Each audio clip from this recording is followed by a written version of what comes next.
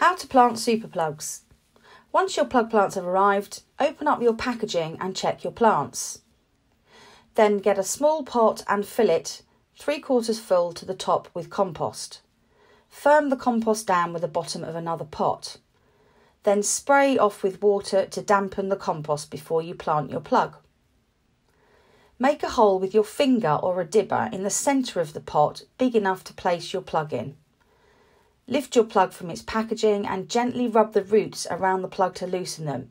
This will help them to stick to the compost when planted in your pot. Gently firm the soil around the plug and water it in well. Then place it on a sunny windowsill or in a greenhouse until it is big enough to pot on or plant out.